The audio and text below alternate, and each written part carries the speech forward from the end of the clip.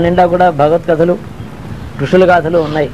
ఋషుల సంతానాన్ని సంతానం అవడం చేతనే మనకి ఈ సంస్కారం నిలబడింది కానీ ఉంది కానీ ఇంకా. గొప్ప సంస్కారం మాది మా మేము ఆర్యులు అంటే అంటే ఋషుల సంతానం కాబట్టి. తర్వాత భగవతత్వం తెలిసిన వాళ్ళు ఋషులు. వాళ్ళ సంతానం మనం అయి ఉన్నప్పుడు మనం ఎవరిని ఆశ్రయిస్తే ఈశ్వరతత్వం మనకి తెలుస్తుంది? ఎవరి గాథ వినాలి?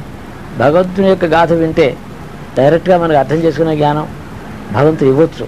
కానీ అలా అడుగుతామా? అంత తీక్షణమైనటువంటి ఏకాగ్రతతో నాకు నిన్ను గురించి తెలుసుకోవాలని అడుగుతున్నామా?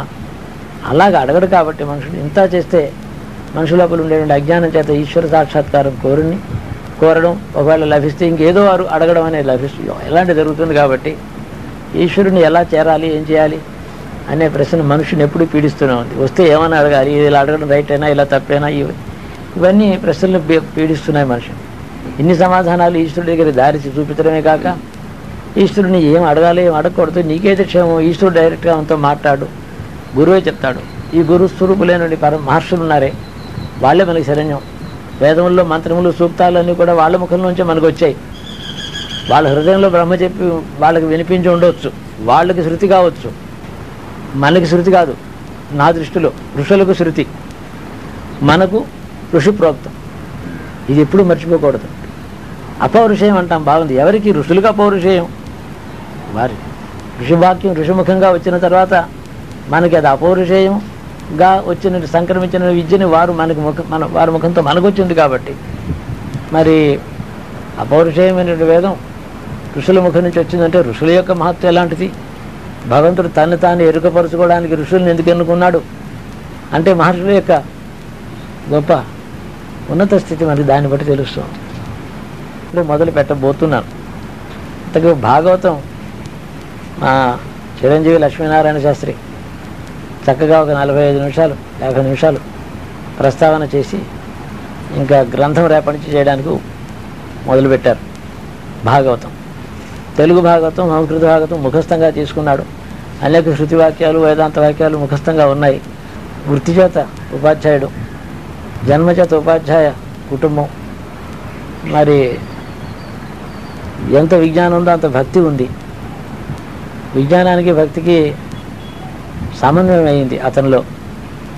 వాళ్ళ నాన్నగారు అఖండమైన రామోపాసన చేసి తాను నిస్వార్థంగా విద్య బోధన అందరికీ చేసి అంటే వాళ్ళు ఇచ్చే కనీస జీతం ఏదో తీసుకుని ఇంటికి ఇచ్చేవారే తప్ప ఆ స్కూల్లో ఎంత టీచ్ చేసేవారో ఇంటి దగ్గర అంతకన్నా ఎక్కువ టీచ్ చేసేవారు. నయా పైస పుచ్చుకోకుండా.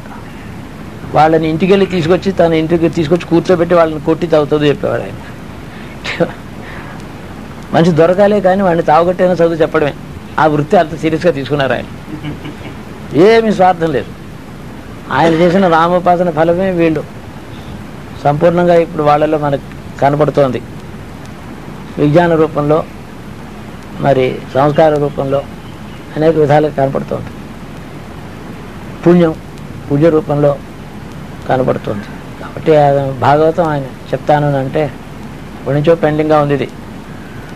సప్తాహం ఈ యజ్ఞ సమయంలో ఏడు రోజులు ఆయన చెప్పేటట్టయితే నీకు అంతకన్నా మంచి రోజులు ఏమున్నాయి? భాగవత్ కథ. ఇంటికి వచ్చి నాకు పుత్ర సమానుడు. నా బాబీ ఇతనే ఒకే సంవత్సరంలో పుట్టారు వీళ్ళు. యాభై మూడులో. కాబట్టి అతని ఎందు నాకు చాలా అమకారం ఉంది. చెప్తానంటే నాకు అతని నోటితో వింటే నాకు తృప్తిగా ఉంటుంది బాగుంటుందని నన్ను శ్రమపడి వచ్చాడు. వాళ్ళు మొదలు ప్రస్తావన అయింది.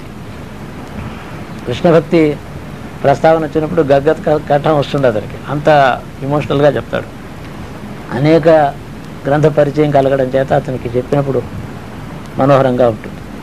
ఇప్పటికీ నేను చెప్పిన నేను చెప్పిన కారణాల వల్ల ఋషుల చరిత్రే నాకు ఎక్కువ ఆసక్తిదాయకంగా ఉంటుంది. వాళ్ళ చరిత్ర నేర్చుకుంటే తెలుసుకుంటే వాళ్ళ స్మరణ చేస్తే వాళ్ళ అనుగ్రహం కనుక మనకు కలిగితే మనలో మళ్ళీ ఆ చైతన్యం ఆర్య చైతన్యం మళ్ళీ వస్తుందని వాళ్ళ ప్రస్తావన చేత వాళ్ళ స్మరణ చేత ఆ చైతన్యం మళ్ళీ వచ్చిన రాగానే దారింటూ ఏర్పడుతుంది. దారిని చూపించేవారు కూడా వారే కాబట్టి వాళ్ళని స్మరిద్దాం అనేటువంటిది నిన్న ఊరిగా నాకు భగవంతుడు నిన్న గురువు యొక్క నాకు కలగడం చేత ఆయన ఏదో నాకు జ్ఞాపకం చేసినట్టు తర్వాత దాని అర్థం ఏదోగా కానీ తర్వాత గోచరి. మనుష్య బుద్ధికి వెంటనే గోచరించదు తర్వాత అయినా గోచరిస్తే చాలా అదృష్టమే. సంతోషించాలి. కాబట్టి నేను సాయంకాలమే ముందర అకారాత సూచికలో ముందర అగస్త్య మహర్షి చరిత్ర ఉంది కదా అని. పురాణాల్లో అక్కడక్కడ మాటలు అన్నీ తీసో చోట ఋషుల చరిత్రలో ఆయన రాశారు. అది దగ్గర పెట్టుకుని వాళ్ళని స్మరణ చేస్తున్నాను అగస్త్య మహర్షి యొక్క చరిత్ర అంతా అయిపోయింది. ఒక ఆయనని గురించిన రెండు మహత్తులు ఆయన మహత్తుని చెప్పాను ఇంకొక రెండు విషయములు ఇంకా ప్రస్తావించి ఉన్నాయి ఇక్కడ. తాము పెట్టుకోవడం కర్తవ్యాన్ని ఆలోచించాలి. ధనం సంపాదించవలసిందే భార్యాపుత్రులను సుఖపెట్టవలసిందే మనం కూడా మంచి అన్నం వస్త్రం సంపాదించుకోవాలి. ఇదంతా అధర్మం అన్యాయం ఏం కాదు ఇది. న్యాయంగా ప్రతివాడు చేయవలసిన పనే.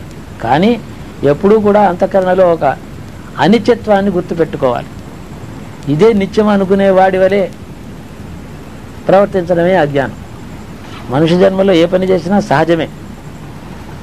అన్నం తినడం నిద్రపోవడం అన్నం సంపాదించుకోవడం ఇదంతా సహజం. ఇందులో దోషాలు ఏం లేవు. నిత్యమనే భావన చేస్తే చాలా పెద్ద తప్పులు చేస్తాం.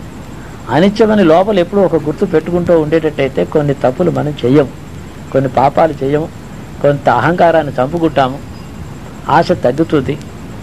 ధనాశ చేత వచ్చినటువంటి అధర్మం మనలో రాదు. అనేక దోషాలు మనం విసర్జిస్తాయి. అలాంటి స్థితి ఆ పరీక్షిత్ యొక్క మన ఫలకంలో అతడి యొక్క అంతఃకరణలో చిత్తమందు అప్పుడే ప్రవేశించడం చేత సుఖమహర్షి బోధ మోక్షకా మోక్షప్రదాయకం అయింది ఆయన విషయంలో చిత్తస్థితి అట్లా ఉంది అతడికి ఆయనకి ఏడు రోజులు చెప్తే మానవజాతి మొత్తానికి నూట ముప్పై చెప్తుంది. ఒక మ్యాథమెటికల్ ప్రొడిక్షన్. సమాబద్ధం అది ఎలా అయినా ఉండనేంటి. మనకి కరెక్ట్ యాటిట్యూడ్ ఏంటంటే అనిత్యం అనే విషయాన్ని ఎప్పుడు గుర్తు పెట్టుకొని అన్ని కర్మలు కూడా అన్ని ధర్మాలు కూడా మ్యాక్సిమం ఎఫిషియన్సీతో సిన్సియారిటీతో చేయాలి. ఎలాగా ఈ భూమి ఉంటుందో లేదో నేను రేపటి నుంచి ఉద్యోగానికి ఎందుకు వెళ్ళాలి? నిద్రపోతాను. అలాంటివి కాదు. ధర్మాన్ని చేసేటప్పుడు సున్నితంగా సునిశ్చితంగా బాగానే చేయాలి. ఆచరణలో లోపం రాకూడదు ధర్మాచరణలో లోపం రాకూడదు. అనిత్యత్వాన్ని జ్ఞాపం పెట్టుకుంటే కొన్ని negative aspects of human life అవి పోతాయి మనం విసర్జిస్తాయి. అందువరకు అది గుర్తుపెట్టుకోవాలి. అక్కడ ఆ భాగవతం యొక్క మహత్తు సంపూర్ణంగా ఆయనకి లభించిందంటే కారణం వేరే ఉంది అని చెప్తుంది. మనకి కొంత మనోబుద్ధి చిత్తాల్లో ప్రవేశించి ఆ ధర్మాన్ని రేపు మన ఆచరణలో మార్పు తీసుకురాగలదని. అందుకని వినాలి భాగవతం పరమాత్మ యొక్క మహత్తు అంటే వ్యాస మహర్షి ఏ ఘట్టమును పరమోత్కృష్టంగా ఎంచుకుని వర్ణించాడో అట్టి ఘట్టం ఇది భాగవతంలో. భక్తుల్ని రక్షించడం గజేంద్ర మోక్షం ఇవన్నీ కూడా భగవంతుని యొక్క మహత్తుని చెప్పాడు.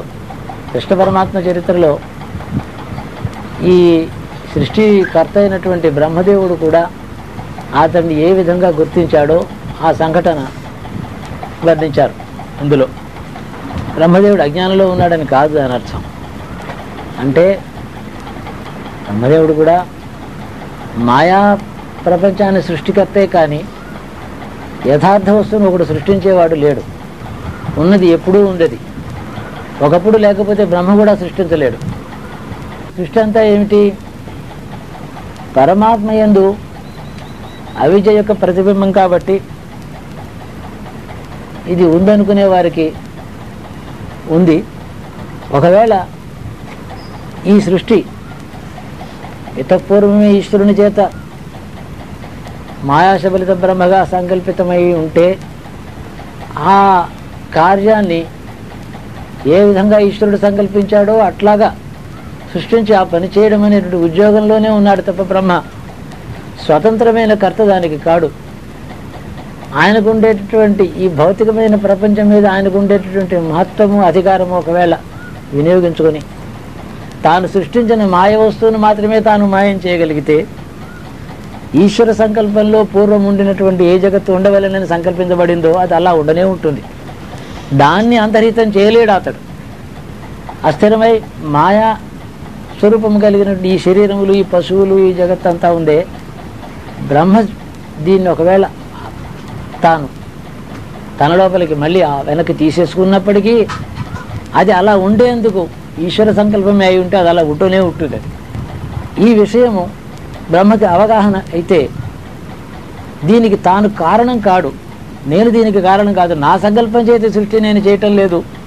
ఎవరి సంకల్పమో నేను ఎలాగ దానిని ఆ ప్రతిబింబి ఆ సంకల్పాన్ని ప్రతిబింబించేటటువంటి క్రియ నేను ఏది చేయవలనని నా ఎందు విధించబడిందో అటు విధిని నేను. విధి అంటాం బ్రహ్మకి. బ్రహ్మ కూడా పరమేశ్వర తత్వంలో ఆ బ్రహ్మ ఈశ్వరుడు విధించిన పరమేశ్వర పరమ శివతత్వం శ్రీ మహావిష్ణు తత్వం ఏదైతే ఉందో కా సర్వకారణ కారణం ఏదైతే ఉందో అది ఎలా సంకల్పించిందో ఆ సంకల్పాన్ని విధివత్ యాజ్ మ్యాటర్ ఆఫ్ డ్యూటీ అనమాట విధివత్ అంటే. అలాగా కనబడేటట్టు దాన్ని నిర్మాణం చేసి దాన్ని ఏమవుతుందో ఆ పని అలా చేస్తూ ఉండేటువంటి అధికారమే తప్ప స్వతంత్రం అతడికి లేదని. అట్టి సర్వతంత్ర స్వతంత్రుడు పరమాత్మని చెప్పడమే ఇందులో ఉద్దేశం. కావ్యలక్షణం చేత బ్రహ్మను తాను ఈ విషయం తెలుసుకున్నానని బ్రహ్మ ముఖ్యంగా ఆ మాట చెప్పించడం చేత ఆ వస్తువు యొక్క ఉత్కృష్టత పరాకాష్ఠ చెంది బ్రహ్మదేవుడే ఇలా అన్నాడు అనేటటువంటి ప్రామాణ్యత ఏర్పడుతుంది ఈశ్వరతత్వానికి ఏదైనా గొప్ప ఉత్కృష్టమైన విషయం చెప్పాల్సి వచ్చినప్పుడు పార్వతి స్వామిని అడిగింది స్వామి పార్వతికి ఇలా చెప్పాడట. ఇక దాన్ని ఎవరు క్వశ్చన్ చేయడానికి వీల్లేదు. అమ్మవారు అడిగితే స్వామి చెప్పాడు బస్ అది సర్వ ప్రమాణం ఇక దానిపైన అది అది సందేహించడమా? అది తప్పేమో? అని క్వశ్చన్ ఆ క్వశ్చన్ పుట్టకూడదు. ఇది వ్యాసుడు తన మాటగా చెప్పాడు అనుకోండి ప్రశ్నించవచ్చు. బ్రహ్మముఖం చేత చెప్పిస్తే బ్రహ్మే ఇలాగ పొరపాటు చేశానని ఒప్పుకున్నాడు. తాను చేసిన ఈ మాయా క్రియను తాను పొరపాటు చేత చేశానని చెప్పి విషయం బ్రహ్మ కూడా ఒప్పుకున్నాడు అని అందులో పరమ ప్రామాణ్యతని దానికి ఇవ్వడమే ఉద్దేశం. జరిగింది ఏమిటంటే గోపకులంలో ఉండేటువంటి పశువులు గోపాలకులు వాళ్ళందరూ కూడా వాళ్ళ కుటుంబాలు వాళ్ళందరూ కూడా ఎవరైతే ఇంటికి వెళ్ళి మామూలుగా జీవనం జీవనం చేయాలో వాళ్ళందరినీ అంద అంతర్హితం చేసేసాడు అయినప్పటికీ శాశ్వతమైనటువంటి ఆ బ్రహ్మ వస్తువులో ఈ ప్రతిబింబించవలసినటువంటి జగత్తు ప్రతిబింబిస్తూనే ఉంది. ఏది నశ్వర పదార్థమో అది కూడా తాత్కాలికంగా కొంతకాలం ప్రతిబింబించి అంతర్హితం అవుతూ ఉంటుంది అది అందులోంచే వస్తుంది. అందులోకే మళ్ళీ లయం చెందుతుంది. ఆ కాలగమనం ఆ క్రియ ఆగలేదు. ఏది తన అసత్ పదార్థాన్ని సృష్టించి దాన్ని అసత్తుగా మార్చుకున్నాడు తప్ప సత్పదార్థాన్ని సృష్టించి దాన్ని వెనక్కి తీసుకోగలడా? తాను సృష్టించిందే అసత్తు. యథార్థం కాదు. అది లేకుండా కాసేపు తన అసత్పదార్థ సృష్టిని తాను పక్కన పెట్టి సత్పదార్థం ముందు అసత్ పదార్థం యొక్క ప్రతిబింబం శాశ్వతంగా తాను లేకపోయినా ఎలా ఉంటుందో అది బ్రహ్మ తెలుసుకున్నాడు. కర్తృత్వం తాను తన మీద పెట్టుకుంటాడు. ఈశ్వరుడు యొక్క లక్షణం ఏంటంటే సర్వ సర్వానికి అతడు కర్తే కానీ కర్తృత్వ భావన లేనివాడు. అబ్సల్యూట్ రియాలిటీకి రిలేటివ్ రియాలిటీకి అది తేడా. బ్రహ్మదేవుడు చేసే సృష్టి రిలేటివ్ రియాలిటీ అందువల్ల దానికి కర్తల్ని నేను అనుకుంటాడు అతడు. సత్పదార్థం యొక్క వస్తువు యొక్క లక్షణం ఎలా ఉంటుందంటే అది ఎప్పుడు అలా ఉంటుంది? దాని మీద నుంచి వచ్చి మళ్ళీ వెళ్ళిపోయేటటువంటి ఈ జగత్ అంతా అంతా కూడా తాత్కాలికంగానే ఉంటుంది. తాత్కాలికమైన ఇటువంటి నాటకానికి ఒక కర్త దానికి ఆడేవాడు పాడేవాడు నాటకం చేసేవాడు వాళ్ళందరూ కూడా మధ్యని వచ్చి వెళ్ళిపోతారు. ఒక నాటకం ఉంది. ఒక కర్త నాటకం రాశాడు. ఆ నాటకాన్ని కవి ఊహించుకుని రాశాడు. రాసిన తర్వాత అందులో పది పాత్రలు ఉన్నాయి. ఆ పది పాత్రలని వేషం వేసుకుని నటించే వాళ్ళు అనేక మంది. ఇవాళ ఒక సెట్ ఆ పది పాత్రలు వేషం వేసుకుని నటిస్తారు వాళ్ళు వెళ్ళిపోతారు. మళ్ళీ నూరేళ్ళ తర్వాత కూడా మరొకళ్ళు దాన్ని నాటకం ఆడవచ్చు.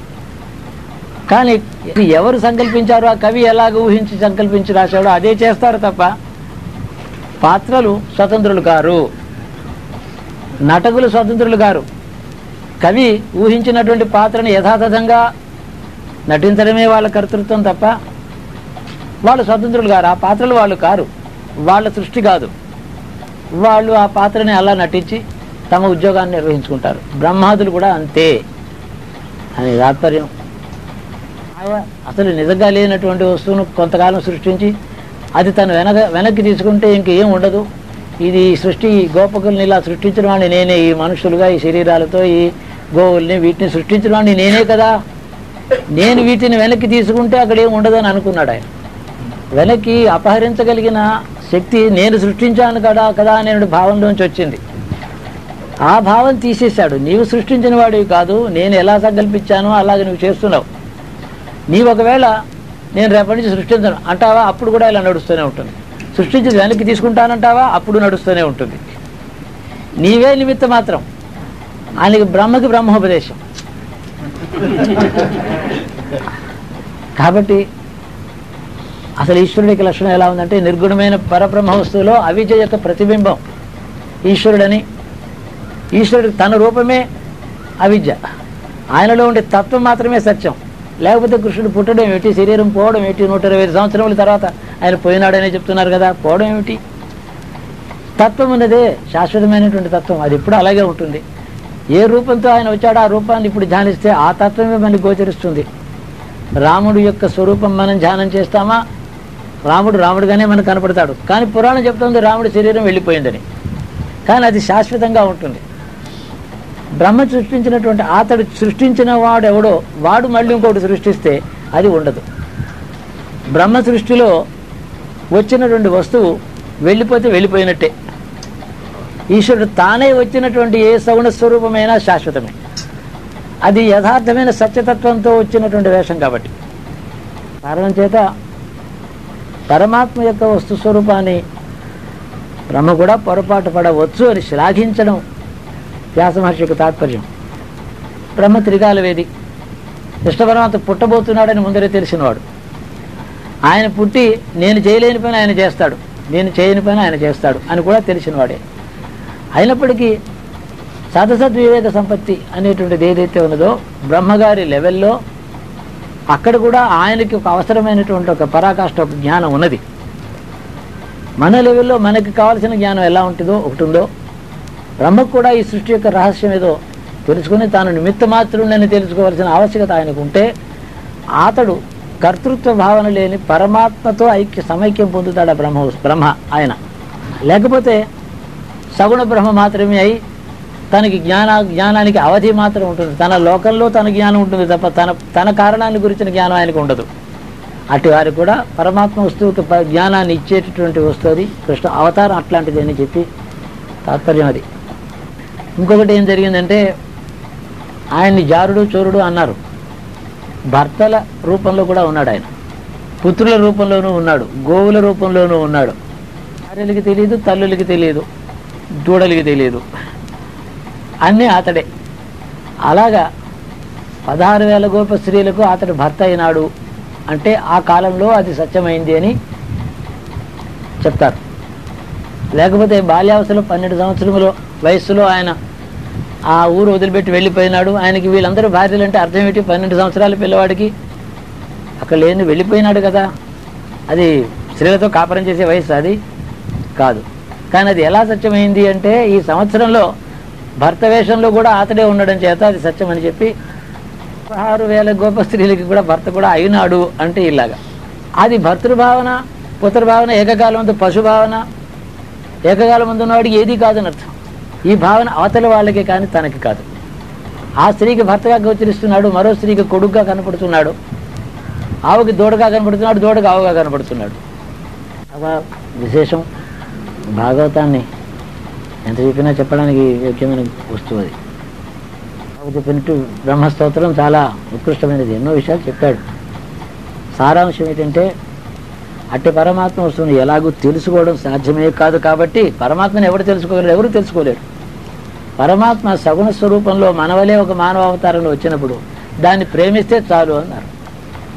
తత్వం నీకు తెలుసుకునే ప్రయత్నం చేస్తావా? నువ్వు ఎంత కసరత్తు చేసినా నీ బుద్ధికి అందదు. నీ పాండిత్యానికి అసలు అంతే దాని చుట్టూ తిరుగుతూ ఉంటాడు గానుగెద్దులాగా. మధ్యలో నువ్వులు నలుగుతూ ఉంటాయి. నూనె వస్తూ ఉంటుంది. దానికేమో అంత పొడుగు కర్ర కట్టి చుట్టూ తిప్పుతాడు దాన్ని. ఎంత తిరిగినప్పటికీ నువ్వుల్లో నూనె రాలినప్పటికీ దాని రుచి దానికి తెలియదు అలాగే సర్దోస్తు ఒకటి ఉంటుంది దాని చుట్టూ వ్యాఖ్యానాలు చేసుకుంటూ తిరుగుతూ ఉంటాం కానీ దాని దగ్గరికి వెళ్ళలేము దాని వాసన అప్పుడప్పుడు వేస్తూ ఉంటుంది. అదేమో తెలిసిందేమో అని అనిపిస్తూ ఉంటుంది. ఆ ఎందుకు ఆ వాసన చాలా రుచిగా అనిపించి బాగుంది అనిపిస్తుంది. ఎప్పుడు పొందలేదు అది. పొందబడే వస్తువు కాదు. దానిని గురించిన యోచన చేసి చేయబడే వస్తువు. కాబట్టి పరమాత్మ సగుణ స్వరూపంలో ఉండేటప్పుడు ప్రేమించడమే నీ కర్తవ్యం. ప్రేమ ద్వారా అతని పొందు. ప్రేమ భక్తి రెండు తేడా ఏం లేదు. రెండు ఒకటే అలాగ భక్తి భావం అంటే దానిని వదలనే వదలకుండా ఉండలేనటువంటి ప్రేమ. మనుషుల్లో ఈ ప్రేమ భక్తి సహజంగా అందరికీ ఉన్నాయి.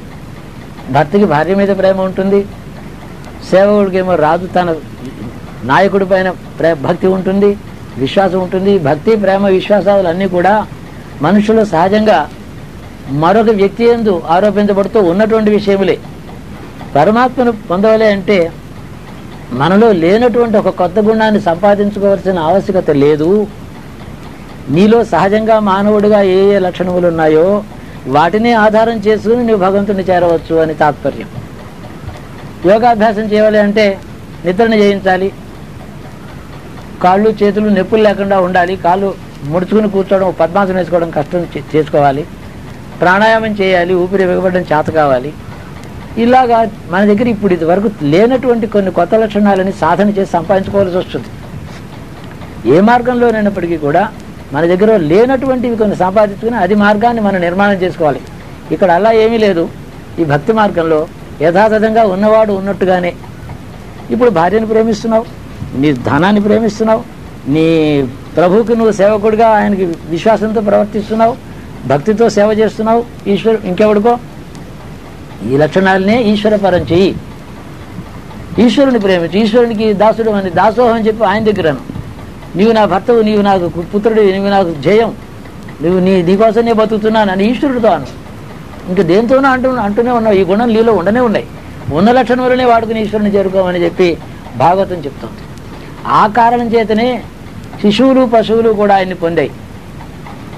గజేంద్రుడు పశువు ప్రహ్లాదుడు శిశువే. ధ్రువుడు బాలుడే వీళ్ళందరూ గోపికలేమో.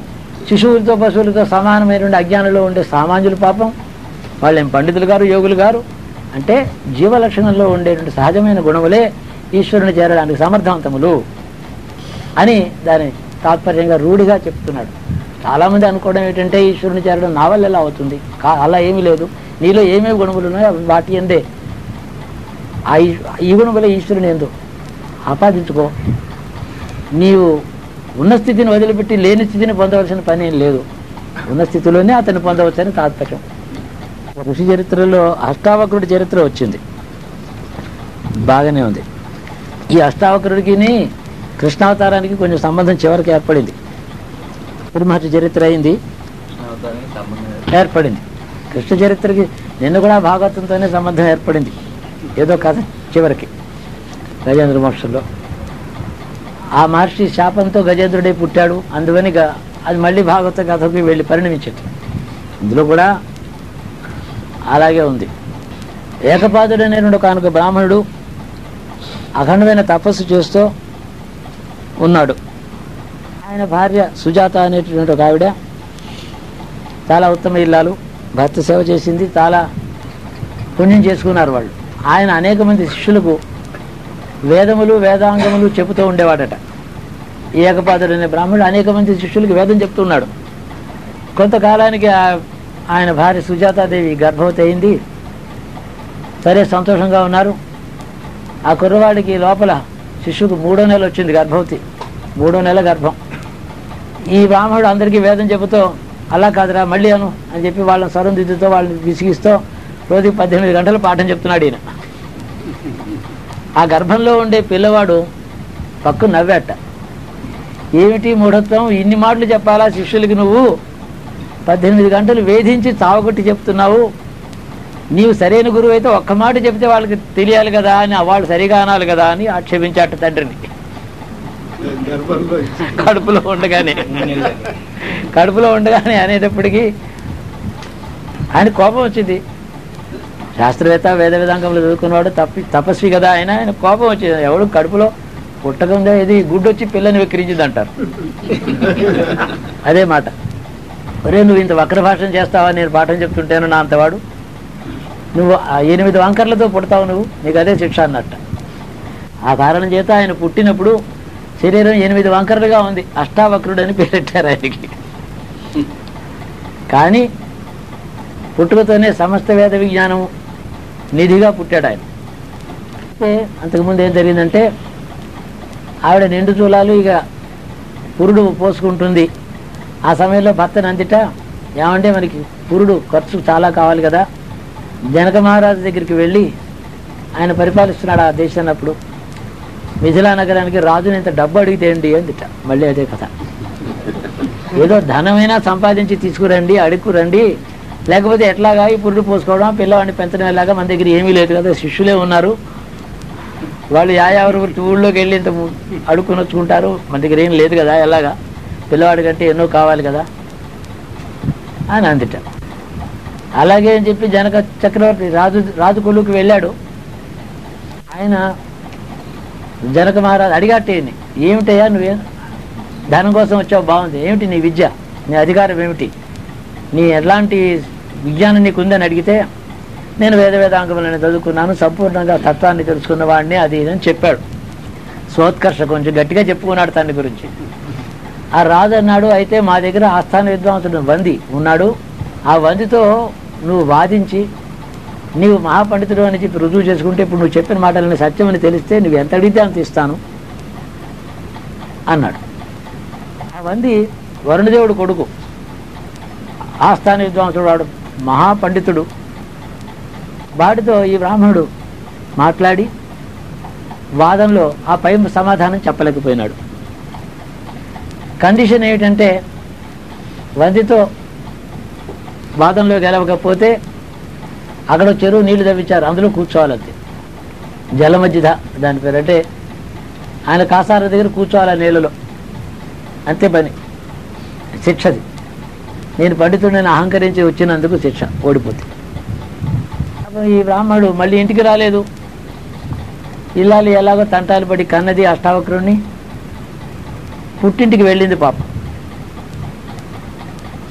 ఇంట్లో కూతున్నాడు శ్వేతకేతు అనేటువంటి ఋషి ఇతడు మేనమామ ఈ సుజాత అన్నగారు.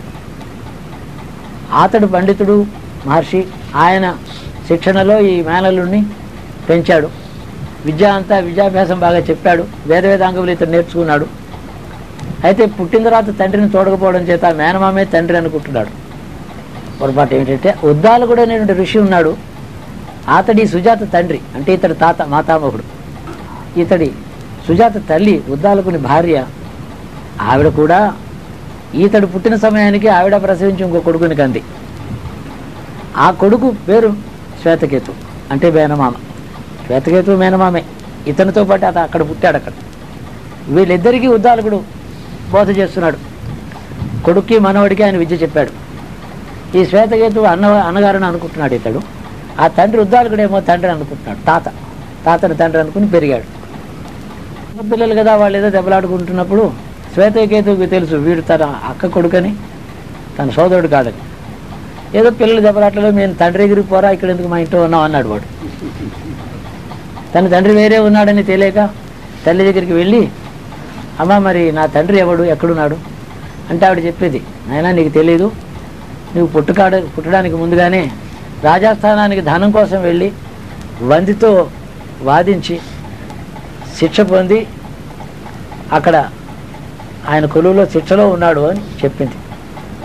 నేను వెళ్ళి తండ్రిని విడిపించుకొస్తాను అని అష్టావక్రుడు ఆ రాజస్థానానికి వెళ్ళి ఈ ఈ మేనమామైన శ్వేతకేతుడు సమ సమవయస్కుడు శ్వేతకేతువుని కూడా తీసుకుని మళ్ళీ వాళ్ళు స్నేహంగానే ఉన్నారు వెళ్ళాడు.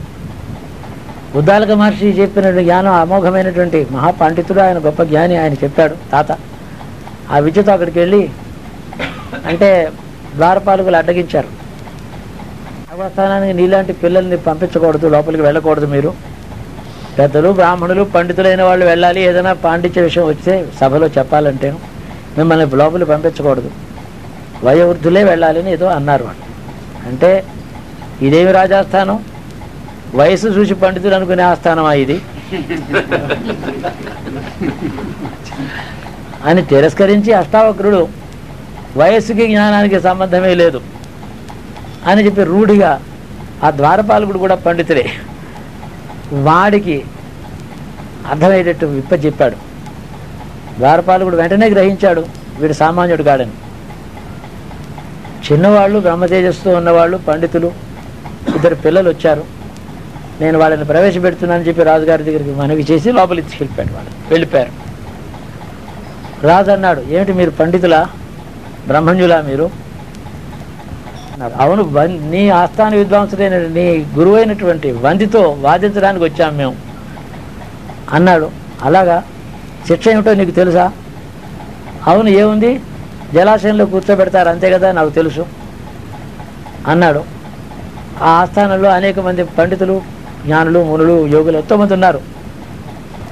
ఈ ఎనిమిది సంవత్సరముల వయసు కలిగిన అష్టావక్రుడు వందితో వాగ్వాదానికి దిగి సృష్టిలో ఉండేటువంటి సత్యములను వంది ముందర ఒకటి చెప్తే దాని పై సత్యం ఇంకొకటి చెప్పాలి తాను. అది అక్కడ పందెం? ఒకటి అనే సంఖ్య. ఏమేమి చెప్తుంది సృష్టిలో? పరమసత్యాలు చెప్పాలి. ఒకటి దాన్ని చెప్పిన తర్వాత తర్వాత సంఖ్య రెండు. సృష్టిలో ఉండే ఏ పరమ సత్యములు చెబుతుంది ఈ సంఖ్య? అది తను చెప్పాలి. దాని తర్వాత మూడు అనే సంఖ్య అతడు తీసుకుంటాడు వంది. సృష్టిలో ఉండే పరమ సత్యాలు ఏమిటి? మూడు. వేటిని గురించి మూడు సంఖ్య చెబుతుంది అతడు చెప్తాడు. తర్వాత నాలుగేదో తను చెప్పాలి. ఈ ప్రకారంగా ఎక్కడైతే ఆ పై సంఖ్యను గురించి అవతల వాడు చెప్పలేకపోతాడో అతడు ఓడిపోయినట్టు. సావకుడు ఆ వాదంలో రెండు మాటలు ఇక్కడ రాశారు. ఏం అంతే అన్నట్ట. ప్రజ్వలించేది అగ్ని ఒకటే సూర్యుడు ఒకడే శివుడు ఒక్కడే సర్వవ్యాపి అని మూడు ఒకటే ఒకటో సంఖ్యకి సంబంధించిన మూడు పరమసత్యాలు చెప్పాడు. రెండు సంఖ్య చెప్పాలి. ఇంద్రాగ్నులు ఇద్దరు. నారద పర్వతులు ఇద్దరు దేవతలు. ఆశ్వినేయులు ఇద్దరు రూపవంతులు. భార్యాభర్తలు ఇద్దరు సంసార మూలం అని చెప్పి రెండు సంఖ్యని నిరూపించాడు. శాశ్వతమైన సత్యములై ఉండాలి. అలాగా ఈ ప్రకారంగా పన్నెండో సంఖ్య వరకు చెప్పుకుంటూ వెళ్ళారు. పన్నెండో సంఖ్యకి ఏదో ఈయన చెప్పాడు అష్టావక్రుడు చెప్పితే ఆ పదమూడవ సంఖ్యకి వంది చెప్పలేకపోయాడు. ఓడిపోయాను జీతోస్మి అన్నాడు. అరుణకుమారుడైనటువంటి వంది నీకేం కావాలని అడిగితే నా తండ్రిని విడిపించుకోవడానికి వచ్చాను. శిక్షలో ఉన్నాడు. అంటే అని ఇంకోటి ఏం చెప్పాడంటే ఇప్పుడు మీరు ఇదివరకు నిర్ణయించిన ధర్మం ప్రకారం ఈ వందిని ఆ చెరువులో కూర్చోబెట్టి నా తండ్రిని బయటకు పంపించి నాతో పంపించండి అన్నాడు. అంటే ఆ వంది అన్నట్ట ఊరికే అదొక వంక ఇలాగ చాలామందిని నేను బ్రాహ్మణుల్ని తీసుకొచ్చి వాదంలో గెలిచి వాళ్ళ మహత్యం నేను తెలుసుకున్నవాడిని నేను తెలుసుకున్నవాడిని వాళ్ళు నిజంగా శిక్ష వేయలేదు. నా తండ్రి అయిన వరుణదేవుడు ఒక మహాయాగం సంకల్పించి చేస్తున్నాడు. దానికి ఋత్వికులు దొరకటం లేదు. అందుకని ఇలాగ ఆకర్షించి వీళ్ళని ఓడగొట్టి అక్కడికి పంపించి అక్కడ అర్థం ఆ యజ్ఞం సక్రమంగా జరిగేటట్టు చూస్తున్నాను. అయ్యా నీ తండ్రి వరుణదేవుడు యజ్ఞంలో ఉన్నాడు.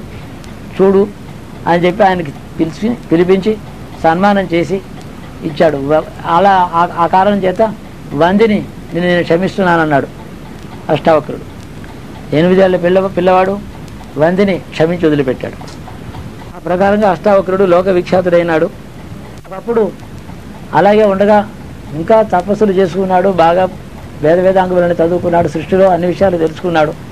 తండ్రి శిక్షణలో పదహారు సంవత్సరం పదిహేడు సంవత్సరంలో వచ్చేటప్పటికి వివాహకాలం ఆసన్నమైంది. ఎవరు చేసుకుంటారు? ఎనిమిది వంకరలతో ఉండేవాడిని చేసుకుంటారా? బాగా ఉండేవాడిని చేసుకుంటారు లేదు సంపాదన లేకపోతే. సంపాదన లేదు అష్టావక్రుడు ఎవరు చేసుకుంటారు? ఆయన వెళ్ళి నాకెందుకు పెళ్ళి? నన్ను ఎవరు చేసుకుంటారు? అనుకుని ఓ చెరువు మీద నీళ్ళ మీద ఎలా హాయిగా విశాలంగా తాపేసి కూర్చున్నాడు. సిద్ధుడు కదా. పెద్ద కాసారానికి చెరువు దగ్గరికి వెళ్ళి మధ్యలో కూర్చుని తపస్సు ధ్యానం చేస్తూ కూర్చున్నాడు. ఆయన యొక్క జ్ఞానాన్ని ఉత్కృష్ట తపో బలాన్ని తెలిసినటువంటి అప్సరసలు వచ్చి ఇంద్రుడు పంపించాడు. ఆయనకి సేవ చేయండి మీరు అని. వచ్చారు రంభాది అప్సరసలు వచ్చి ఆయన చుట్టూ నాట్యాలు అవి ఇవి చేస్తారని చెప్పి చేసి బాగుంది.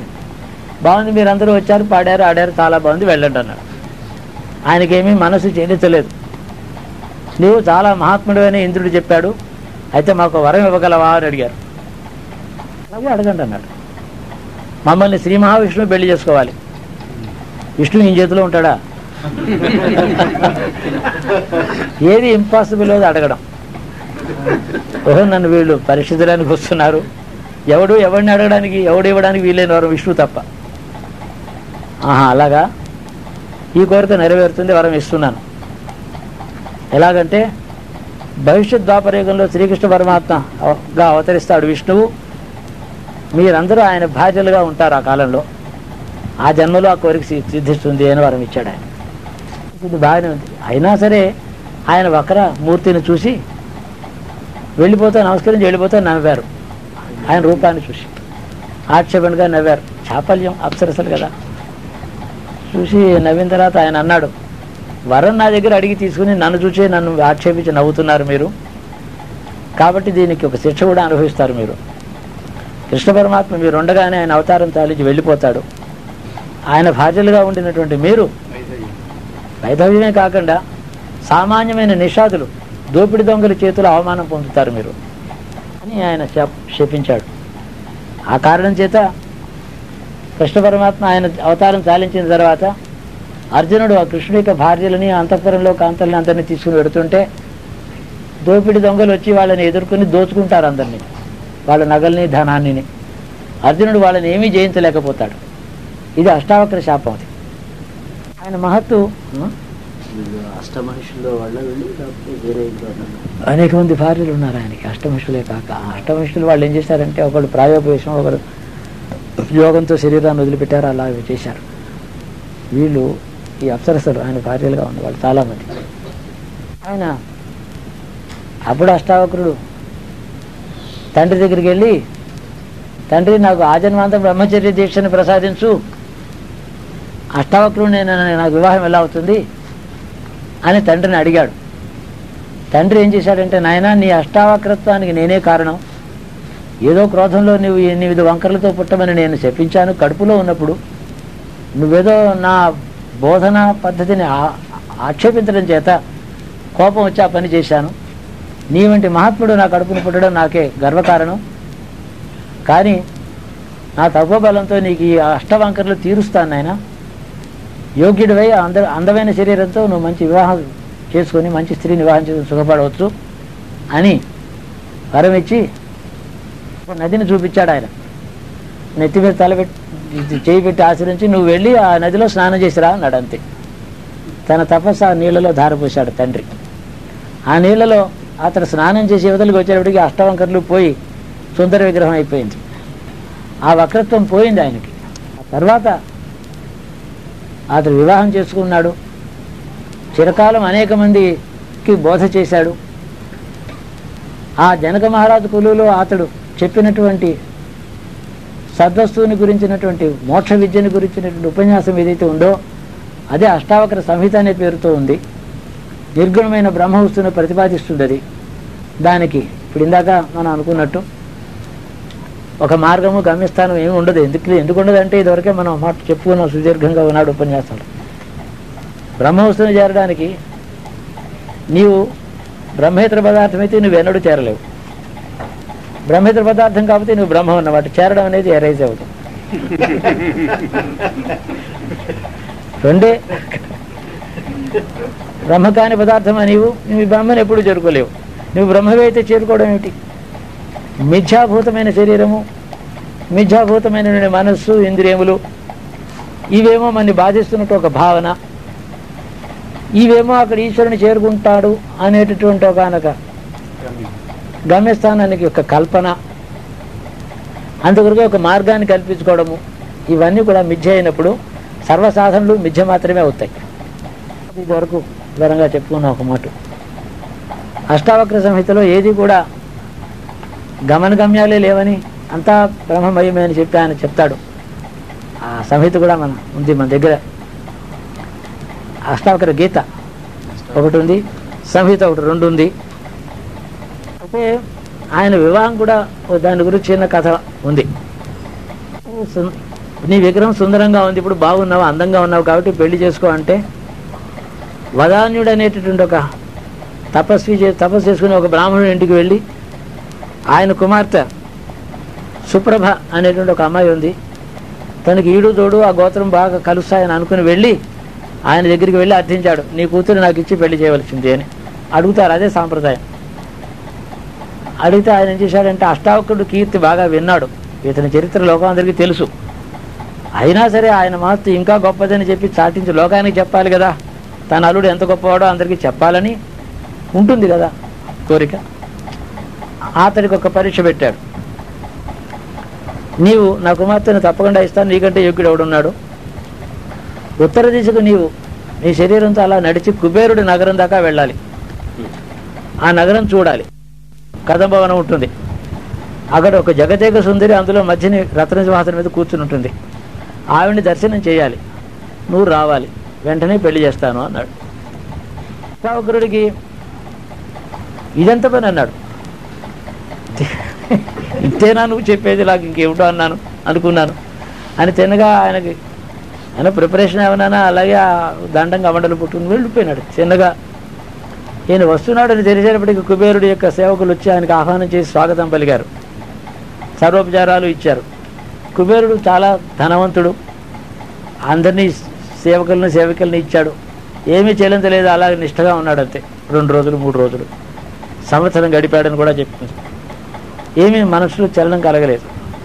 కైలాసానికి వెళ్ళాడు దూరం నుంచి పార్వతీ పరమేశ్వరులు దర్శనం చేశాడు. అక్కడి నుంచి ఇంకా ఉత్తరానికి ఆకాశ మార్గం పైకి వెళ్ళాడు. అక్కడ నేపవనం చూశాడు. మధ్యలో ఒక స్త్రీ ఉంది. ఆవిడ పరాశక్తి యొక్క అంశలో ఉంటుంది అక్కడ స్త్రీ. ఆవిడ ఇతన్ని ఇతన్ని బాగా పరీక్ష చేసింది. సమస్త రాజోపచారాలన్నీ ఇచ్చి నన్ను నువ్వు వరించవలసిందని గట్టిగా నిర్బంధించింది. అది అధర్మం నేను చేయను నాకు అలాంటి కోరిక లేదు. నేను ఒక కన్యకని వరించాను. భూ- మా దేశంలో అక్కడికి వెళ్ళి చేసు ఆమెను పెళ్ళి చేసుకోవడం కోసం నేను చూచి పెడుతున్నాను. ఆ మా రాబోయే కాబోయే మామగారు పెట్టిన టెస్ట్ ఇది. కాబట్టి ఇక్కడ నాకేమి సంబంధం లేదు. మీరు ఏమి ఇచ్చినా ఏమి ఇవ్వకపోయినా నాకేం సంబంధం లేదు. వెళ్ళిపోతాను నేను. నా పని అయిపోయింది అని. ఆమె ఇతడిగా ఈ అనేక వరాలు ఇచ్చి నీ బోధలు అమోఘమైనటువంటి జ్ఞానాన్ని ఇవ్వగలిగిన శక్తివంతములై ఉంటాయి. నీ బోధన ఎవరైతే చదువుకుంటారో వాళ్ళ జ్ఞానోదయం అవుతుంది. ఆ జగదేక కీ జగ జగత్ప్రసిద్ధమైన కీర్తిని సంపాదించి జగత్ పూజలు అవుతావు నువ్వు. బ్రహ్మతో తుల్యుడుగా నేను పూజిస్తారు. బ్రహ్మజ్ఞానివి అని చెప్పి ఆవిడ పంపించింది. వచ్చి పెళ్ళి చేసుకున్నాడు. అపపాత్రుడు కూడా తన కొడుకు యొక్క కీర్తి ఇంకా విని సంతోషించాడు. ఆ సుప్రభ అష్టావక్రుల వివాహం బాగా అయింది. కుబేరాదులందరూ వచ్చారు. దేవతలు కూడా వచ్చి వివాహాన్ని ఆశీర్వదించారట. కొడుకి స్థానాన్ని పొందాడు అనేక మంది కొడుకులు ఆయనకి. ఆయన అనేక వైదిక గ్రంథములకు బోధలకు ఆయన కర్తగా చెప్తారు ఆయన్ని. అదంతా ఇప్పుడు నశించిపోయిన గ్రంథములన్నీ దొరకటం లేదు. గీత మాత్రం ఉంది. ఒక సంహిత కూడా ఉందని చెప్తారు. ఆయన వృద్ధాప్యం వచ్చేసింది. ఆయన సుప్రభ ఆయన భార్య ఆవిడ ఉత్తమగతులు కల్పించి ముందర పంపించేశాడు ఆవిడ్ని. ఇంతలో ద్వాపరయుగం వచ్చింది కృష్ణ పరమాత్మ ఉన్నాడు అక్కడ.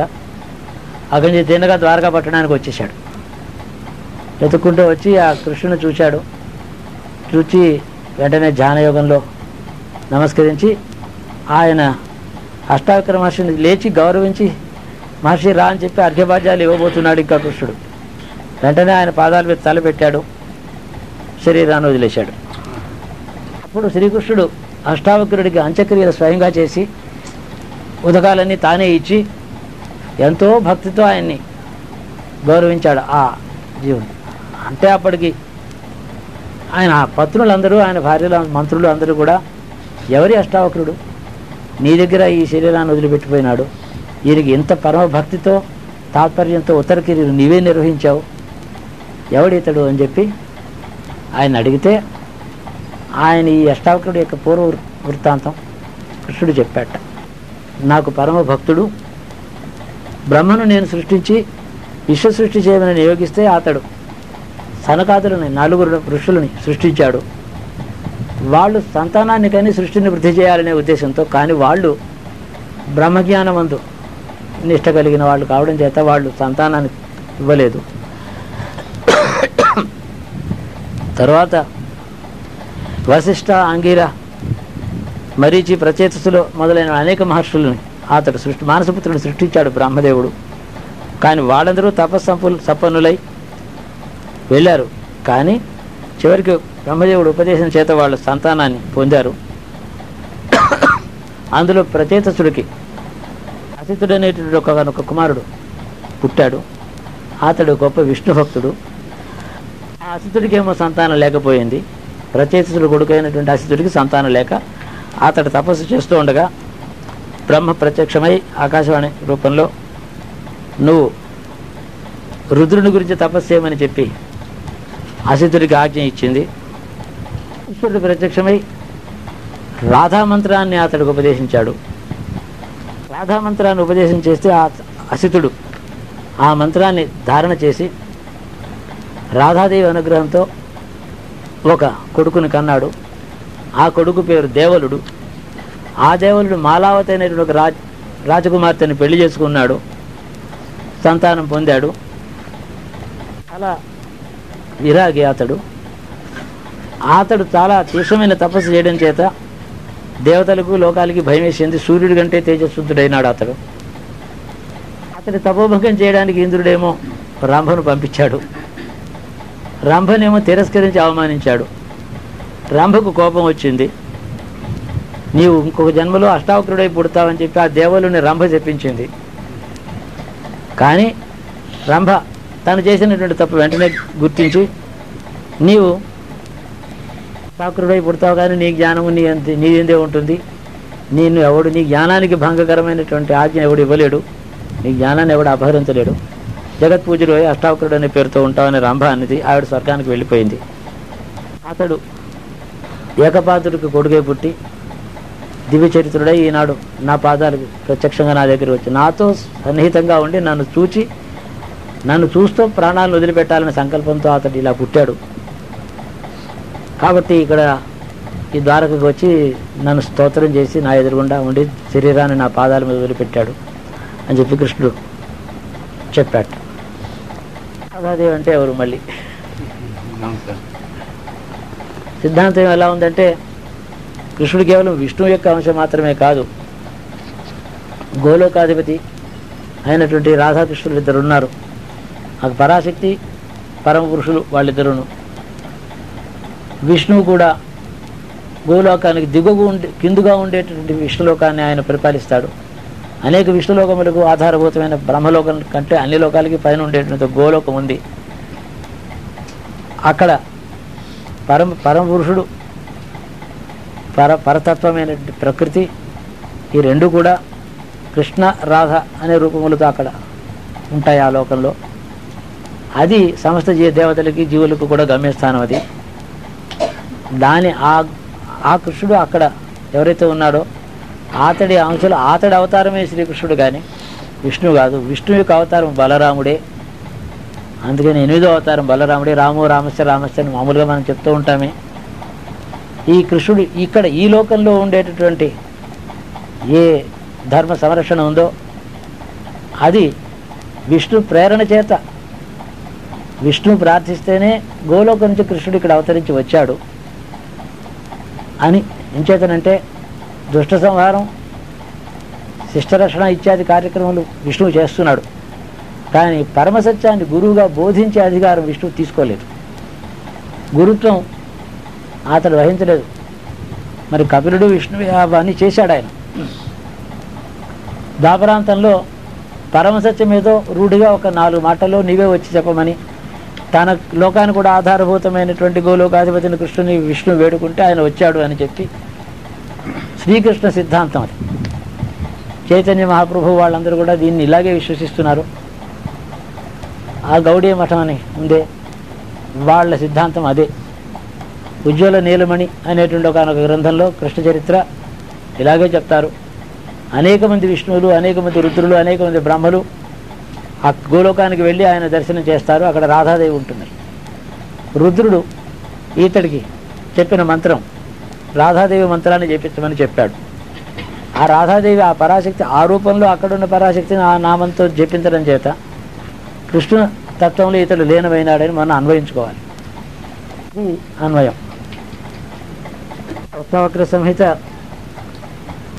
ఆత్మోపదేశము ఆత్మానుభవోల్లాసము ప్రత్యాక్షేప ప్రత్యా ప్రత్యాక్షేప ద్వారోప దేశ ఉపదేశము ఆత్మజ్ఞాన సంకీర్తనము లయయోగము జ్ఞానయోగము అనుభవ పంచకము బంధమోక్ష వ్యవస్థ నిర్వేదము ఉపశమనము జ్ఞానము స్వరూప సంస్థితి ఆత్మసౌఖ్యానుభూతి శాంతి తత్వోపదేశము విశేషోపదేశము తత్వజ్ఞ స్వరూపము శాంతి శతకము ఆత్మస్థితిని అనుభవము జీవన్ముక్తి అనేటటువంటి ఇరవై అధ్యాయాలతో సంహిత ఉందని ఉత్కృష్టమైన వేదాంత గ్రంథంగా దాన్ని పండితులు మన్నిస్తున్నారు. అష్టావక్రుడి యొక్క జ్ఞానబోధ విన్నటువంటి జనక మహారాజు ఆయన అకర అపరిమితంగా స్తోత్రం చేశాడు. ఈ మాటలతో ఈ సత్యాన్ని ఇంత ఇలా చెప్పినటువంటి బోధ నేను ఇప్పుడు నాకు లభించలేదు. నువ్వు జగత్పూజరవి నీవు నేను నువ్వు రావడం చేత నీ దర్శనం చేత నాకు జన్మ సా చరితార్థమైందని చెప్పి ఎనిమిదేళ్ళ పిల్లవాడుగా వచ్చిన అష్టావకుడిని స్తోత్రం చేశాడు జనకరాజు. అంత ఉత్కృష్టమైనటువంటి మహాత్ముడు ఆయన. చాలా గొప్ప జ్ఞానులు అగ్రగణ్యుడు ఆయన పరమాత్మలో వెల్ వెళ్ళేను అయిపోయినాడు. ఆయన బోధ సారాంశాలు మాత్రం ఇంకా ఉన్నాయని మహర్షులలో చిరస్మరుడు ఆయన. రెండు వేలలో ఉన్నట్టు. ద్వాపరాంతం కూడా ఉన్నాడు. అన్నమాట కదా. కొంచెంగా చాలా కాలం ఉన్నాడు. కృష్ణావతార కో- కాలం కోసం వేచి ఉండి ఆయన వచ్చిన తర్వాత తన కార్యం ముగించుకుని శరీరం ఆయనకి దగ్గర వదిలిపెట్టి ఆయనలో లీనం పొందాడు. బ్రహ్మవైవర్త పురాణంలో శ్రీకృష్ణ ఖండం అనేది ఒకటి ఉందిట. బ్రహ్మవైవర్త పురాణంలో శ్రీకృష్ణ ఖండం అనే ఒక ఒక భాగంలో మన దగ్గర ఉంది పురాణం. అందులో నేను చూశాను. ఆ శ్రీకృష్ణుడికి సాష్టాంగ నమస్కారం చేసి ఆయన ఇలా స్తోత్రం చేశాడు. గుణబీజ గుణాత్మక నిర్గుణ గుణి బీజాప్రమేయ గుణనాథ మహాగుణ శోభిత గుణరూపక గుణ నికరాధార దేవ గుణివర వినుత. ఆ, పురాణంలో పద్యాలు. సిద్ధేశ సిద్ధరూపక సిద్ధిప్రత సిద్ధిబీజ సిద్ధాధార సిద్ధిస్వరూప కేవల సిద్ధాచార్యవర నిన్ను చేరి భజింతు. వేదజ్ఞ వేద బీజక వేదానికి బీజం నీవు. వేదాత్మక వేదవేద్య వేదాధార వేదాతీత గుణాత్మక వేదజనక నిన్ను భక్తి వెనుతింతు నొగిన్ సర్వేశ సర్వరూపక సర్వోత్తమ సర్వబీజ సర్వాధార సర్వజ్ఞ సర్వవందిత సర్వాతీత నేను భక్తి సన్నుతి చేతు. ఆ శ్లోకాలకి తర్జుమా తెలుగు. ప్రకృతీశ ప్రకృతి వందిత ప్రకృతి పురుష రూప ప్రాజ్ఞ ప్రకృతివి ప్రకృతి విదూర ప్రకృతి తరు బీజ ప్రకృతి అనే మహావృక్షానికి బీజం. ప్రకృతి తరు బీజ కేశవ. ప్రకృతి స్థల నిన్ను భక్తి ప్రణుతింతు. మదిన్. సృష్టిశ సృష్టి కారణ సృష్టి స్థిత్యంత బీజ సృ బీజ సృష్టి ఆధార. సృష్టి విరాట్ తరు బీజక సృష్టీశ్వర జనక నిన్ను సేవిస్తుంది సృష్టీశ్వర జనకుడు బ్రహ్మగీత ప్రకృతియు మూలంబు బ్రహ్మేశ విష్ణువులు శాఖలు సుర శాఖలు సురలు ఉపశాఖలు అఖిల తపములు పుష్పములు విపుల సంసారాది కంబులు సంసారాది కంబులు ఫల సమూహంబులగుచు తనరు బ్రహ్మాండ పాదపమున. పాదపం అంటే వృక్షం. అర్ధినాధారుడు అటు నిరా అర్థినాధారుడు అటు నిరాధారకుడవు. నీకు ఆధారం లేదు నీవన్నిటికీ ఆధారం. కడిమి సర్వాధారకుడవు తేజోరూపుడవును నిరాకారుడవు మహాత్మ సర్వమయుడవు నీవు మరియు స్వేచ్ఛామయుడవు ముక్తిమయుడవు అఖిల ముముక్షులకును ముక్తిదాయకుడవు జగన్మూర్తి వీవు నీకు నతులు ఆచరించదు నీర నీరజాక్ష. కృష్ణుని స్తోత్రం చేశాడు ఆయన. దీన్ని బట్టి కృష్ణావతారానికి ఉత్కర్షం మరొక మాట. ఇందాక విన్నటువంటి కంటిన్యూషన్లో ఉగడించబడింది కదా. మళ్ళీ భాగవతమే కృష్ణ పరమాత్మ చరిత్రే సిద్ధించింది ఇందులో. అయింది కదా? ఎంత టైము? Seven thirty. లోకం సృష్టిలో సృష్టిలో ఉంది లోకం ఏమిటంటే చాలామంది ఎప్పుడు అడుగుతూ ఉంటారు ఈ ఉత్తమ లోకాలు ఉన్నాయా? అని. ఒక మాటలో సమాధానం చెప్పాలంటే ఆ లోకములు పొందిన జీవులకు అవి ఉన్నాయి. ఇతర జీవులకు అవి లేవు. ఉత్తమ లోకాలండి. ఈ లోకంలో నాకుంది భూలోకం మీకు ఉంది మన అందరికీ ఉంది. అందరూ సామాన్యంగా అనుభవిస్తాం ఈ భూలోకాన్ని. ఆ లోకములు వెళ్ళిన వారు మాత్రమే అనుభవిస్తారు. దూరం నుంచి ఈ లోకం ఇతరులకు కనపడుతుంది. ఆ లోకము వెళ్ళిన వారికి కనపడుతుంది కానీ వెళ్ళని వారికి కనపడే లోకములు కావు. అనగా సూక్ష్మంగా ఉండేటటువంటి భౌతికమైన లోకములు కాదు ఏదో ట్రావెల్లో స్పేస్ క్రాఫ్ట్లో వెళ్ళేవి కావు అవి. నిరాధారమైనటువంటి ఆకాశంలో జీవకోటి పొందేటటువంటి కొన్ని అతి విచిత్రమైనటువంటి అనుభూతులు. ఏ ఆనందాన్ని ఏ మార్గంలో అనుభవిస్తారో వాళ్ళ అనుభూతికి ఆ లోకం అని పేరు. ఇంద్రమండలం అంగారక మండలం దాటిన తర్వాత భౌతిక లోకములు లేవని చెప్పవచ్చును. బృహస్పతి లోకం దాటిన తర్వాత లోకములు లేనే లేవు. లోకాలన్నీ కూడా ఇంతవరకు కూడా ఉదాహరణకి ప్రేతలోకం ఉంది. జీవులు శరీరాన్ని వదిలిపెట్టి చంద్రమండలం చుట్టూ తిరుగుతారు అక్కడికి పెడతారు చంద్రమండలం మీద ఉంటారు వాళ్ళు. ఈ చంద్రుడు భూమి చుట్టూ తిరుగుతున్న పరిభ్రమణ కాలంలో వాళ్ళు చేసిన కర్మకి అనుకూలమైనటువంటి శరీరము లోకము సంసారము భార్య భర్త ఎక్కడైనా కనపడితే వాళ్ళ గర్భవాసంలో వెళ్ళి ఆ తమ యొక్క కర్మను అనుభవించడానికి జన్మనెత్తుతారు భూమి మీదకి వచ్చి మళ్ళీ జన్మించే వరకు చంద్రమండలంలో ఉంటారు. చంద్రమండలం అంటే చంద్రగోళం కాదు. చంద్రగోళం చుట్టూ జీవులు తిరిగేటటువంటి పరిభ్రమించేటటువంటి స్పేస్ని చంద్రమండలం చంద్రలోకం అని పేరు. చంద్రగోళం కనబడుతుంది మనకి. చంద్రలోకం కనపడదు అంటే ప్రత్యక్షంగా భౌతికంగా కనబడేటువంటి గోళాన్ని ఆశ్రయించిన లోకమే మనకు కనపట్టలేదు ఆ పై లోకాలు అలాంటి కనబడే భౌతికమైన గోళాన్ని ఆశ్రయించిన లోకాలు కావు అవి ఏ గోళాన్ని ఆశ్రయించలేదు. స్పేస్లో జీవుల యొక్క ఎక్కడికి వెడితే ఈ భూలోక వాసన ఉండదో ఎక్కడ వెడితే దివ్యమైన అనుభూతి ఆనందం కలుగుతుందో అంత దూరం భూలోకాన్ని నుంచి వెళ్ళడం అనే సత్యమే అందులో. ఇక్కడి నుంచి దూరం వెళ్ళడంలో ఆ లోకంలో ఉత్తమ స్థితి ఉంది తప్ప భౌతికమైన శరీరం నశ్వరమై పంచభూతాత్మకమైన శరీరం పుట్టినప్పటి నుంచి సాగుకి దగ్గరికి వెళ్ళడమే రోజు రోజు అదే పని మనకి.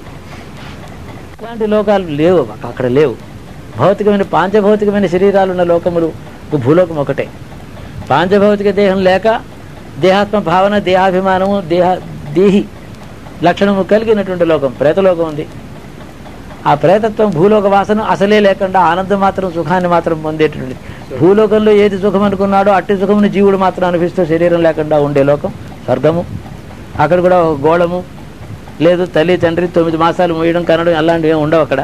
జీవాత్మ సుఖాన్ని అనుభవిస్తుంది దానికి స్వర్గం అని పేరు. జీవుడు పొందే అనుభూతికే ఉత్తమ లోకాలని పేరు.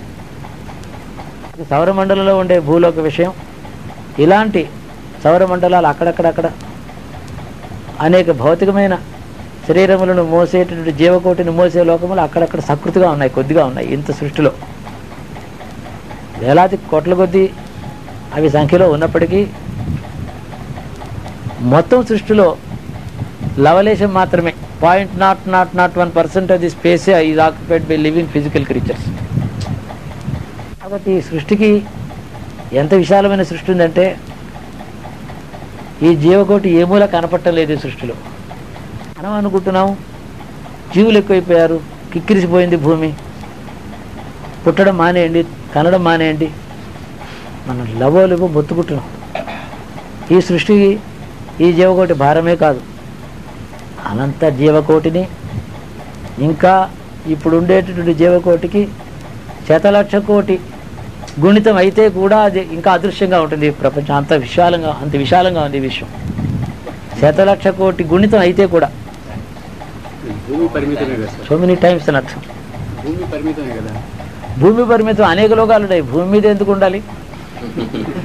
ఉత్తమ కర్మ చేసి ఇంకా గోళాలకు వెళ్ళొచ్చు లేకపోతే ఉత్తమ లోకాలకి పోవచ్చు. ఇక్కడ ఉండి వెళ్ళక ఇబ్బంది పడుతున్నాం. ఎలాగంటే రైల్వే స్టేషన్లో ట్రైన్ ఆగానే ఆ గేట్కి ఎదురుండా ఉండే దాంట్లో దొరపడతారు అంతను. పద్దెనిమిది గ్యారేజ్ వేస్తారు వాళ్ళు.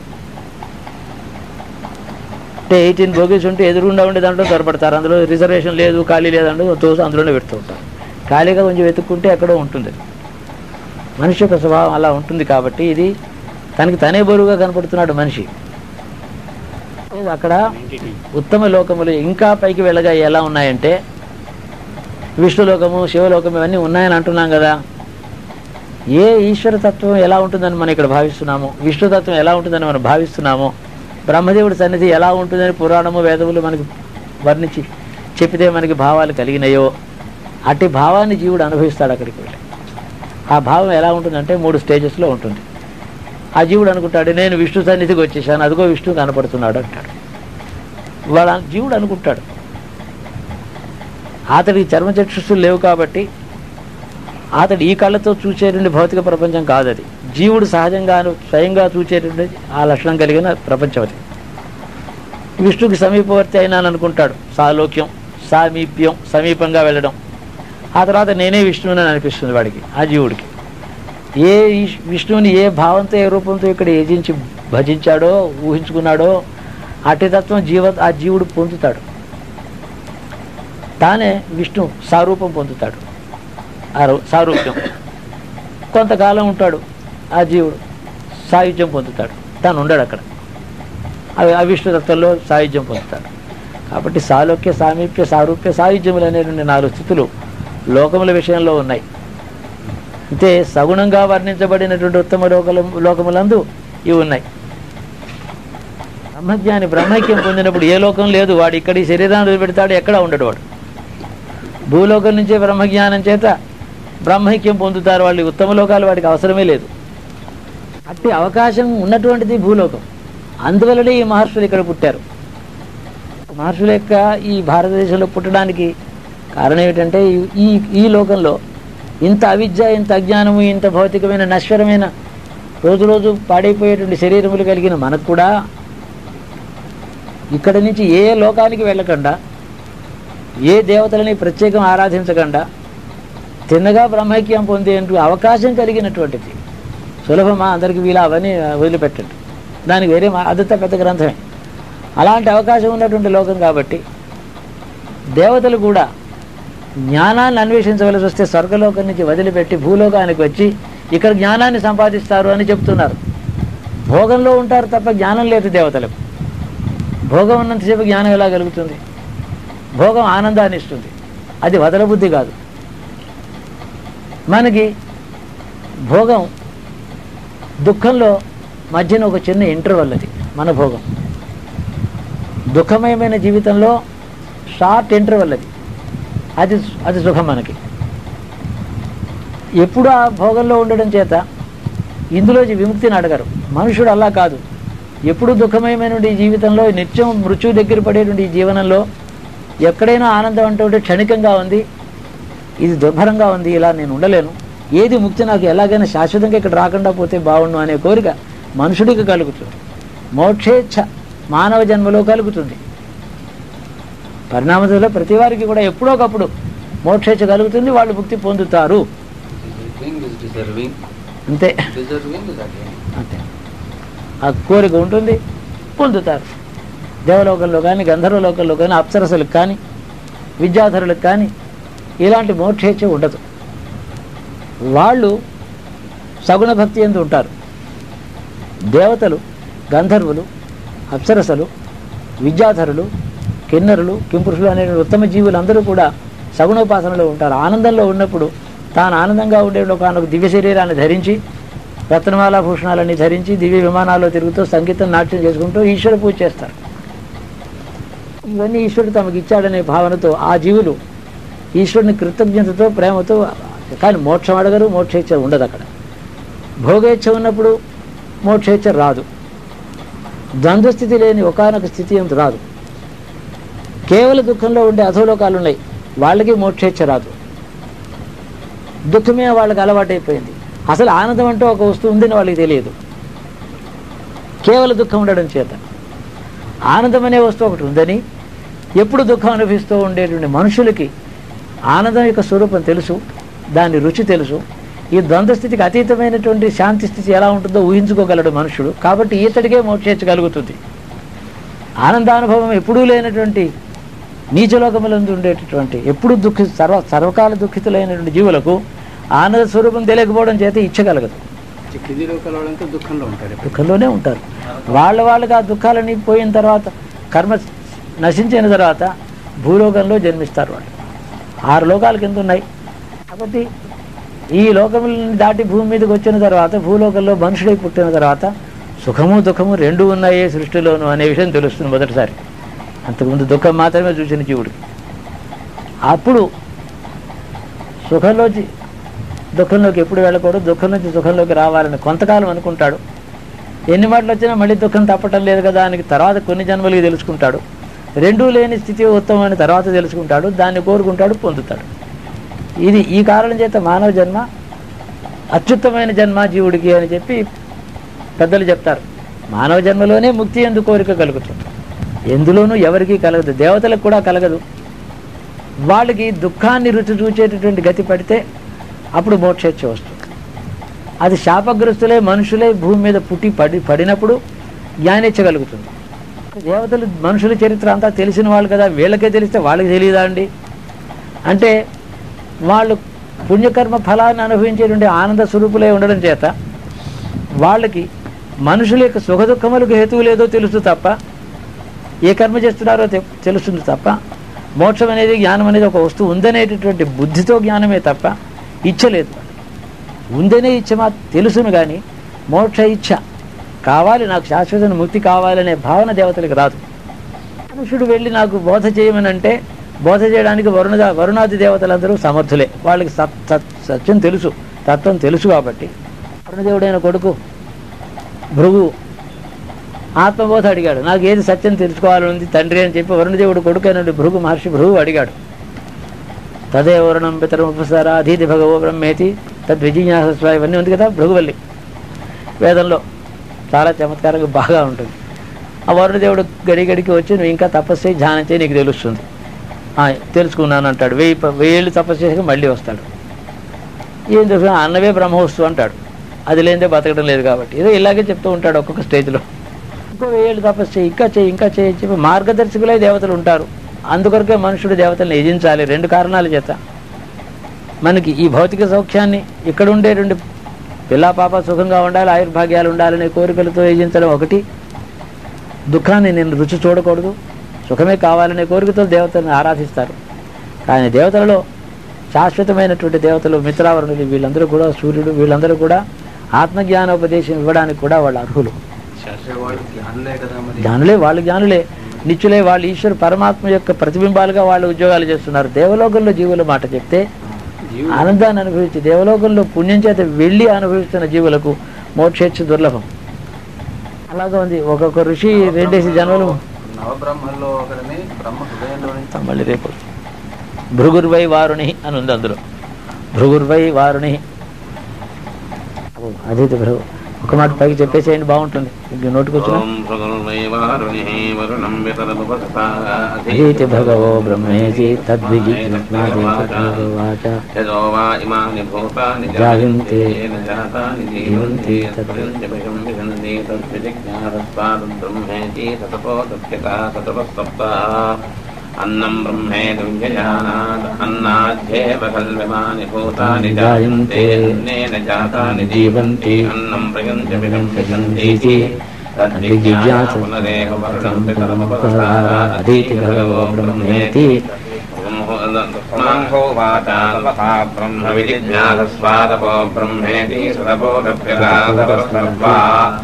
प्राणो ब्रह्मेति विजानातु प्राणाख्येव खल्दिवानि भूतानि जायन्ते।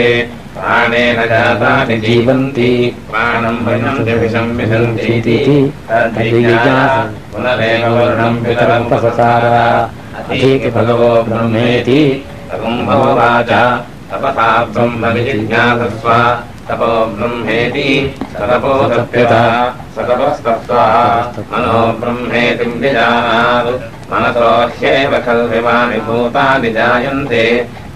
జాతాని జీవంతి ప్రాణం భజంతి విషం విశంతీతి తద్విజ్ఞాస పునరేవ వర్ణం పితరముపససార అధీతి భగవో బ్రహ్మేతి తగుంభవాచ తపసా బ్రహ్మ విజిజ్ఞాసస్వ తపో బ్రహ్మేతి సతపోదప్యత సతపస్తత్వా మనో బ్రహ్మేతి విజానాతు మనసో హ్యేవ च तपसा ब्रह्मविजिज्ञातस्व तपो ब्रह्मेति सतपोदपता सतपस्तप्रा। विज्ञानम् ब्रह्मेदिम् विधानात् भूमानि जायन्ते विज्ञानेन जातानि जीवन्ति। विज्ञानम् प्रयन्त्य विषम् विशन्तीति। तद्विज्ञाय पुनरेव वरुणम् वितरोपसारो ब्रह्मेतिकुम्भोवाचा तपसा ब्रह्मविजिज्ञासस्व। तपो ब्रह्मेति। सतपो तप्यता सतपस्तद्वा आनन्दो भूतानि जायन्ते। आनन्देन जातानि जीवन्ति। आनन्दमुदयम् विषन्तीति ऐषा गलीवारुणी विद्या परमेभ्योऽहम् प्रतिष्ठिता य एवम् वेद प्रतिष्ठति। अन्नवानन्नादो भवति। महान् भवति प्रदया पशुभिम् महान् भवतीत्या अन्नन्ननिन्द्यात् अन्नन्दनिन्द्या प्रतिदीवान्नम् आकाशो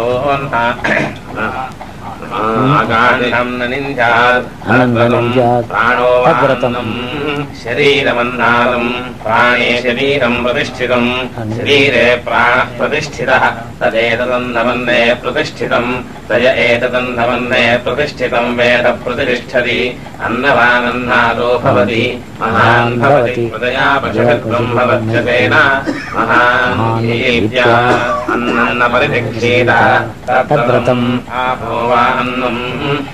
न्नालम् अप्सु ज्योतिः प्रतिष्ठितम्। ज्योतिष्यापप्रतिष्ठिताः तदेतदन्धमन्मे प्रतिष्ठितम्। तज एतदन्धमन्मे प्रतिष्ठितम् वेद प्रतिष्ठति। अन्नवानन्नादो भवति। महान्धवति प्रदयापशुभि महाङ्गीत्या अन्नम् वसुपुर्नीता तद्वदम् अन्नम् आकाशोन्नादा पृथिव्यामाकाशः प्रतिष्ठितः आकाशे पृथिवी प्रतिष्ठिता। तदेतदम् न मन्ने प्रतिष्ठितम्। तय एतदम् न मन्ने प्रतिष्ठितम्। वेदप्रतिष्ठति अन्नमानन्नादो भवति। महान् भवति प्रजयापशरिर्ब्रह्मवक्षसेन महान् कीर्त्या न कञ्चन वसतौ प्रत्यारक्षीता। तद्वम् तस्माद्ययाकयात् विधया वह्पन्नम् प्राप्नुयात्।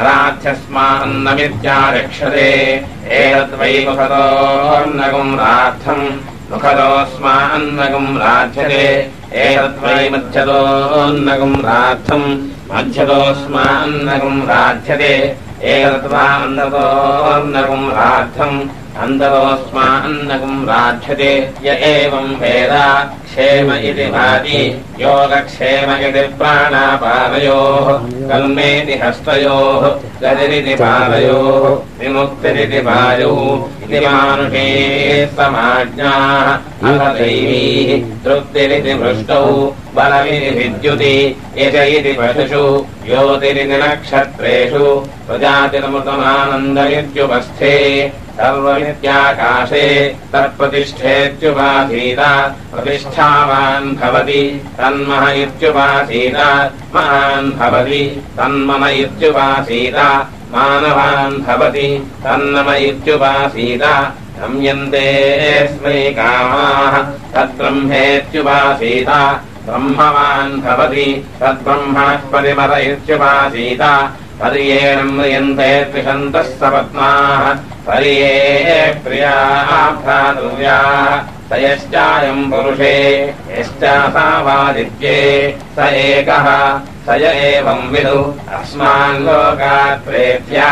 एतमन्नमयमात्मानमुपसङ्क्रम्य एतम् प्राणमयमात्मानमुपसङ्क्रम्य एतम् मनोमयमात्मानमुपसङ्क्रम्य एतम् विज्ञानमयमात्मानमुपसङ्क्रम्य एतमानन्दमयमात्मानमुपसङ्क्रम्य इमान् लोकान् गामान्ये कामलोक्यनुसङ्क्रमन् एतत्सामगायन्नास्ते हा।